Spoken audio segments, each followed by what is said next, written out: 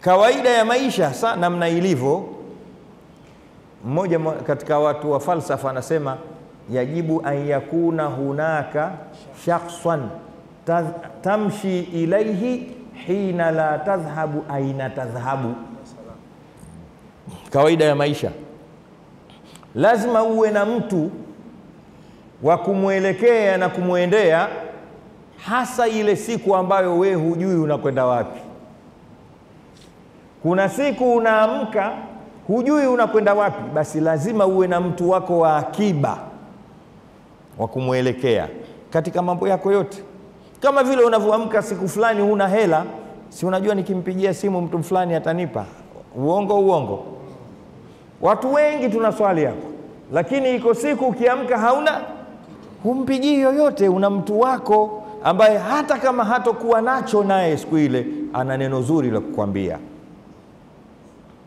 Yajibu an yakuna hunaka shakhsan tamshi ilaihi hina la tadhhabu aina tasha, lazima uwe na mtu wa kumwendea pale unapokuwa hujui uende wapi. Ndio maisha yalivyo. Ukiamka unaumwa, kuna mtu wa kumwendea juu ya afya yako. Ukiamka huna pesa, kuna mtu umwendee ili akupe pesa. Unaamka una mambo yamekutafish, so stress, umwendee mtu wa kuondosha zile Sawa, lazima uwe na mtu huyo. Hayo ni maisha kwa ujumla. Sasa maisha kwa ujumla kabisa, lazima uwe na Mtume Muhammad, kwa sababu sallallahu alaihi wasallam, yeye ndiyo ukombozi na ufumbuzi wa kila aina ya tatizo, kisiasa, kiuchumi, kijamii. Kimbilio letu mtu huyu.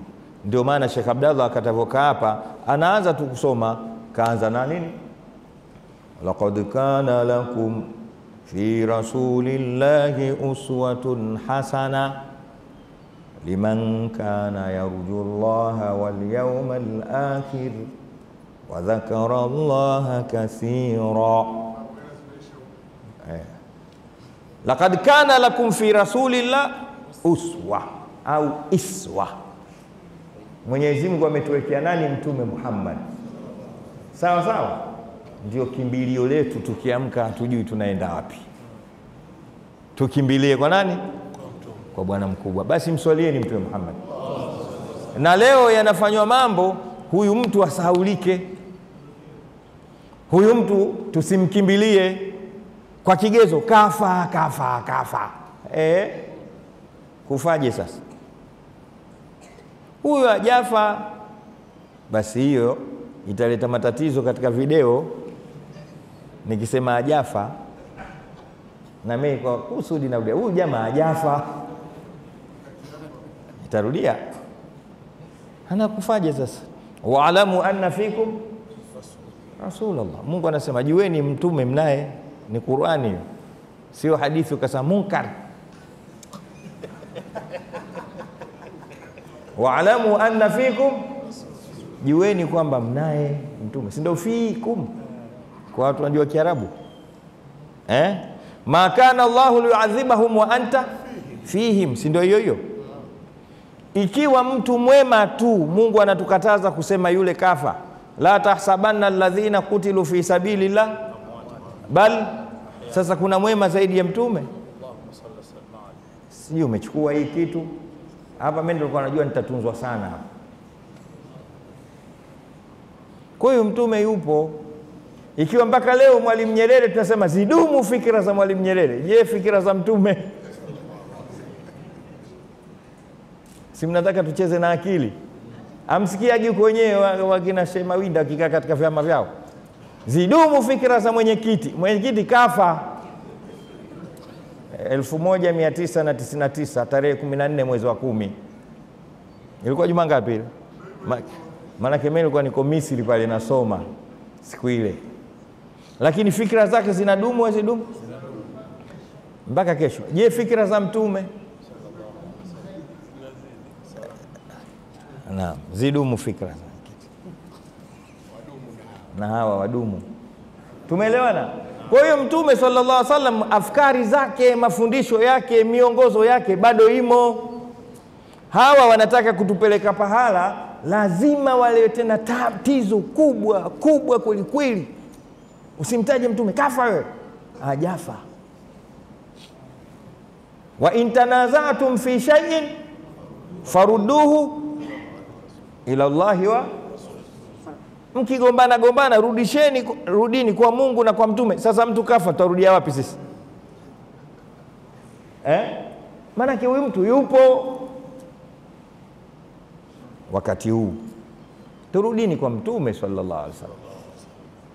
Ndio maana tunaleta hizi darasa, mtume na maadili, mtume na uchumi, mtume na afya, mtume na habari, mtume na elimu, mtume na mavazi, mtume na biashara, mtume na majumba. Sisi tuta, ndo tutafanya mada hizi mpaka tunazikwa.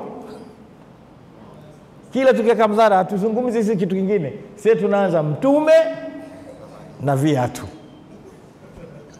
Mtume alikuwa anavaaje viatu? Mtume na safari. Mada sisi hazibadiliki sasa hivi, wakitaka ndo hivyo, wakichukia zipo dawa za kunguni na nini, wale wafe wafe tu.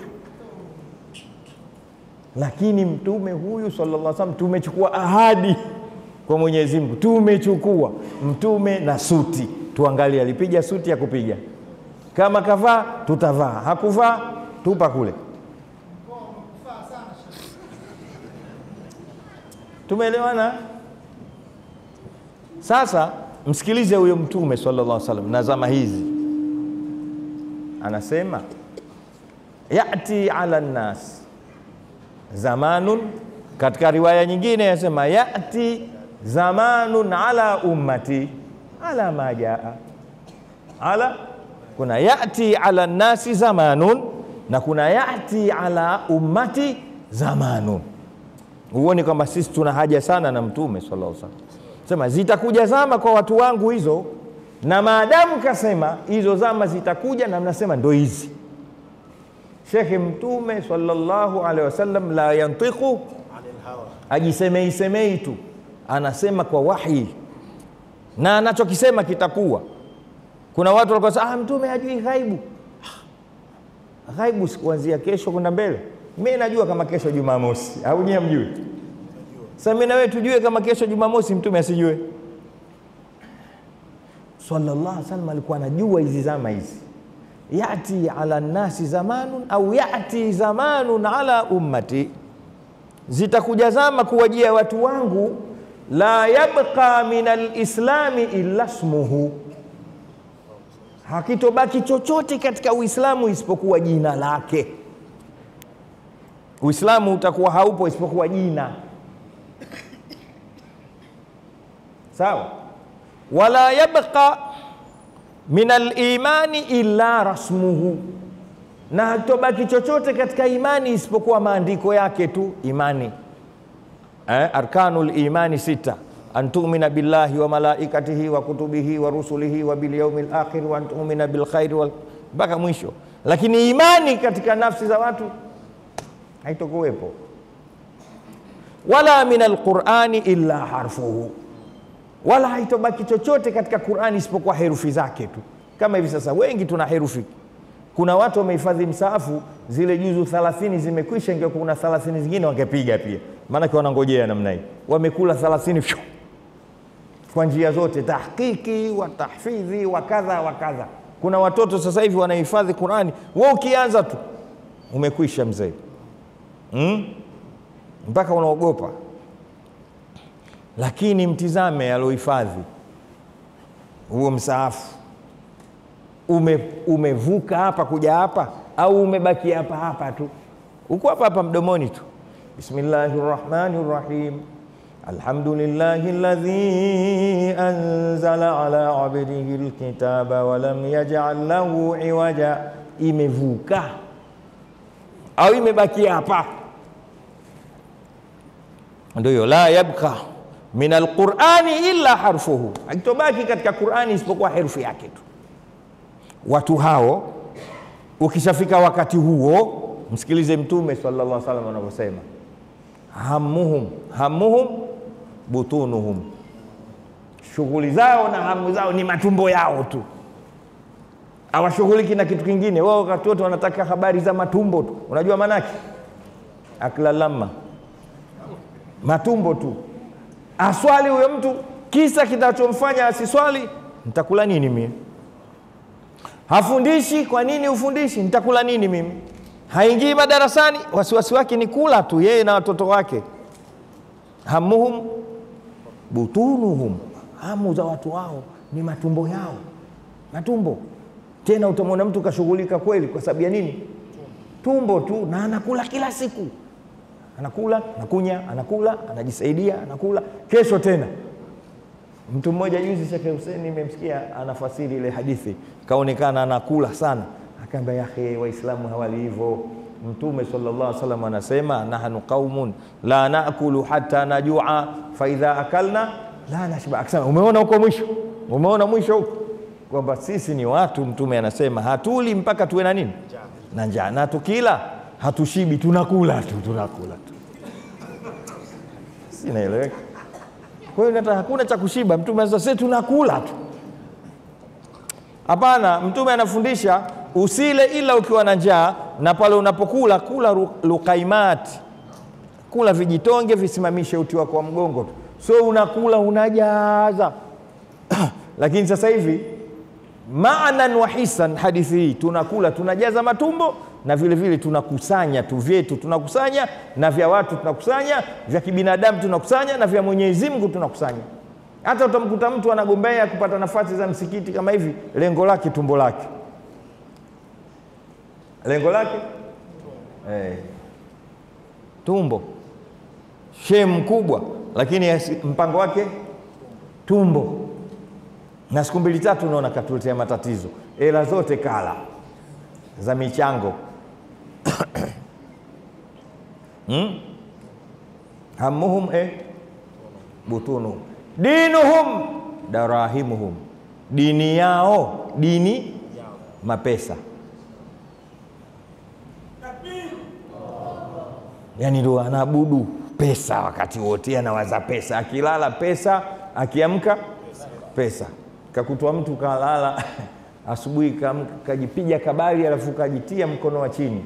Nini sasa analia. Ai bwana, mimi niliota nimeokota kasha la pesa, kasa nakimbia nalo, nimelishika juu likatoboka lika chini, kwa hiyo nimeliziba, ndio nakwenda nalo. Kumbe kajiadhibu, ukajikamata huku chini, kajitia kidole,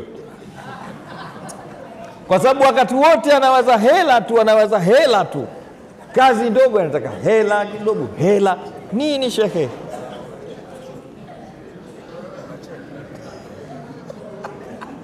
Mmeelewa? mpaka usingizini ana anawaza jamani, wakati huu sio huu.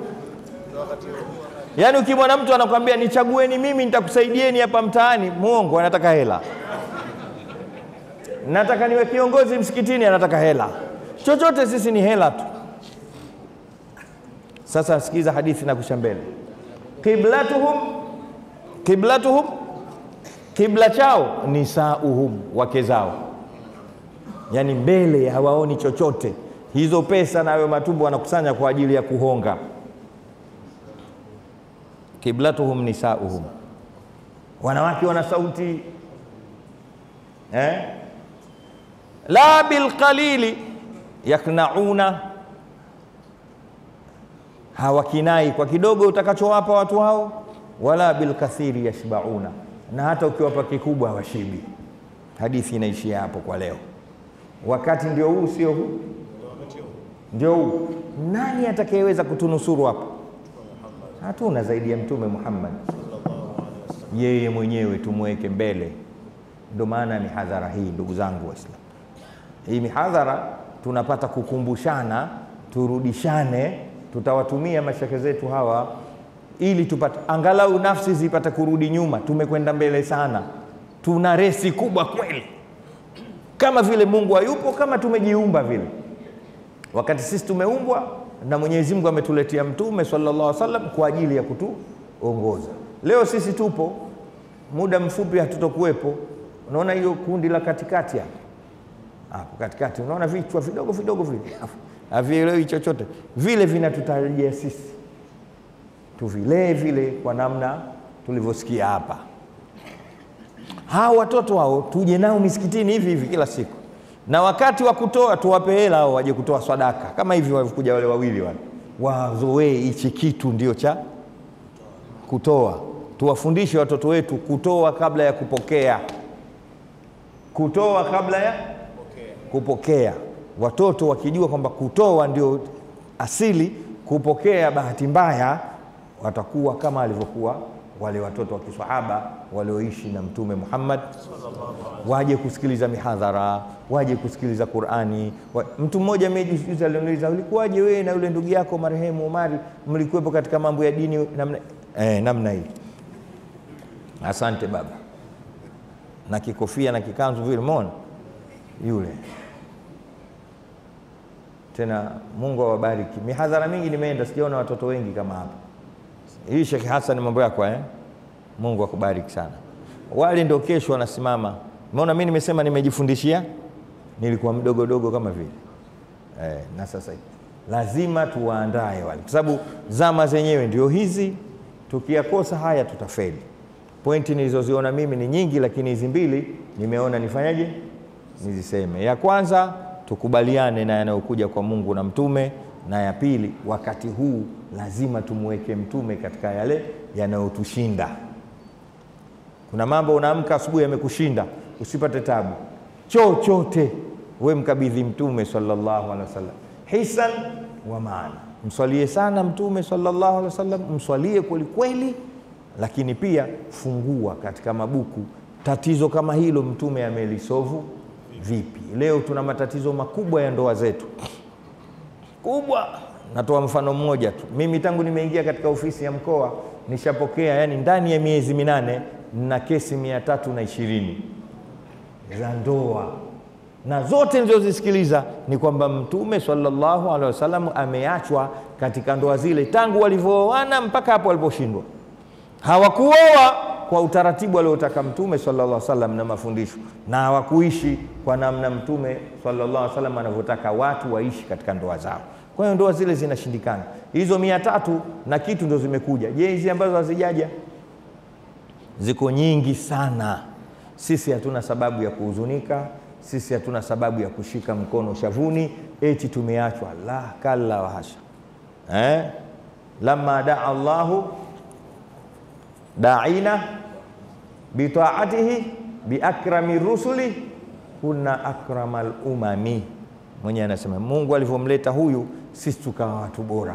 Kwa hiyo hatuna haja ya kuhangaika, turudini kwa Mtume sallallahu alaihi wasallam. Na inshallah mihadhara hii imewekwa kipindi hiki, lakini nimeongea na ndugu yangu Sheikh Hassan, tutakuwa nayo hii mihadhara takriban mwaka mzima, katika kila mwezi mara hizi, kila kumi la kila kumi tutakuwa na mhadhara huu mmoja. Sasa waambie na wengine, mje na vitu vyenu mrikodi kwa sababu mambo ya kusoma siku hizi ni tabu. Mje na makaratasi, tumsikilize Mtume sallallahu alaihi wasallam. Ndani ya miezi kumi na mbili tutakuwa na mihadhara mingapi eh? Tatu mara kumi na mbili kumi na mbili mara tatu, mihadhara mingapi? thelathini na sita. Ni sawasawa umetoka chuo kikuu. Kwa hiyo tutawaleta mashekhe na kila nikipata nafasi na mimi nitakuwa nakuja kama hivi nachombeza chombeza mpaka hii jamii irudi kule alipoiacha Mtume sallallahu alaihi wasallam. Aqulu ma tasmaun, nimesema haya mlioyasikia yaanze kuninufaisha mimi, lakini pia na nyinyi yawanufaishe, ili tuishi katika njia ambayo Mwenyezi Mungu anataka, ili pale tutakaporudi kwa Mwenyezi Mungu turudi hali ya kuwa sisi nyoyo zetu ni zenye kusalimika. Wama alaina illa albalaghu mubin.